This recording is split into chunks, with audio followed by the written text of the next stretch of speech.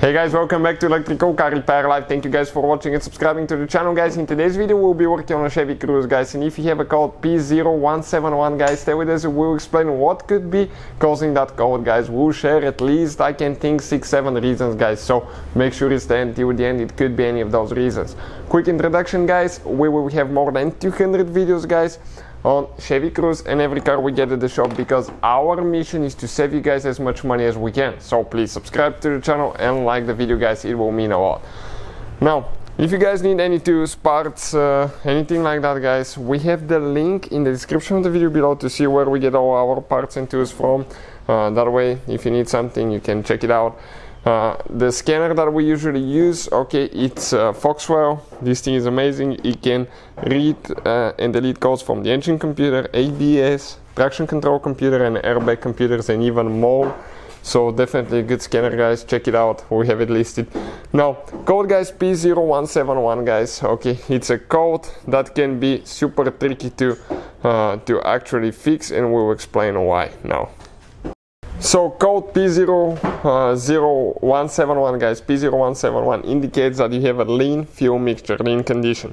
Now what you can think guys, okay, lean condition, okay, it could be that you're getting either too much air or you're not getting enough fuel, which means that you will have more air in the mixture and not enough fuel to correspond to that air. Now that guys can be, okay, can be super tricky and we will explain now uh, what can cause that. Most common reason guys is vacuum leak can cause that. Vacuum leak means that, uh, okay let me explain how the system works. Now you have your air filter, you have your mass airflow sensor. This is the sensor that detects how much, uh, how much air the engine gets. So if you guys get some extra air past, past that sensor, okay past that point it means that the engine does not know about that extra air and that extra air guys can be caused to get in the engine by a few factors. It could be a cracked intake boot. Sometimes, okay, check this thing out now. This one started cracking, okay, right there. Uh, if it starts leaking, okay, it's going to get some extra air. That's one of them.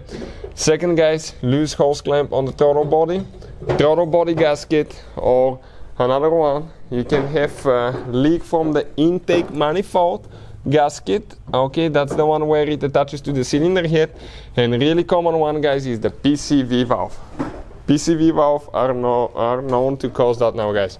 And uh, the PCV valve is integrated in the valve cover. This is the hose for the PCV valve. What it does it actually takes that uh, extra pressure that's built in the engine and takes it to the intake and burns it one more time. Now uh, if that valve is stuck open you're going to get some extra air in the intake the engine will not know that and it will cause that thing guys. So due to a vacuum leak or bad PCV valve.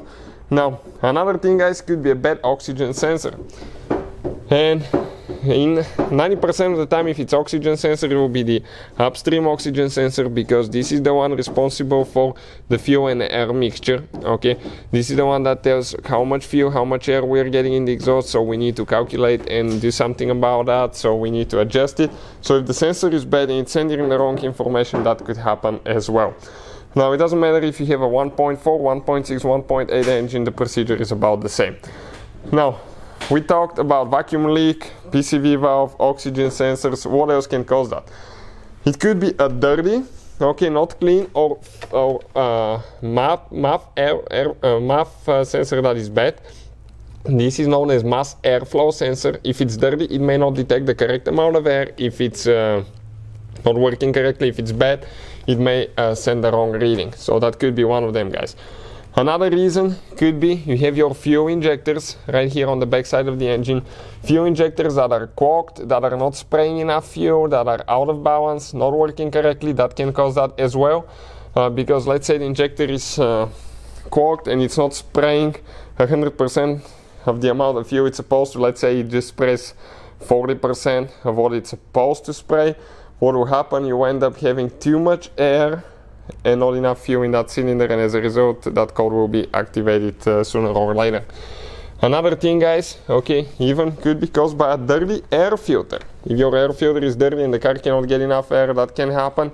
Uh, or uh, air filter that uh, sometimes they have the sport air filters that can get too much air, that can trigger that light as well.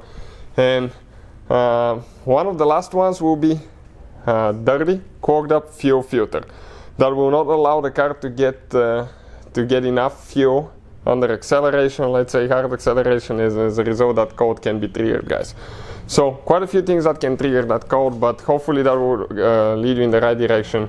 Please, guys, uh, hit that subscribe button for more videos. Hopefully the video will be helpful. Thank you for watching and see you guys next time.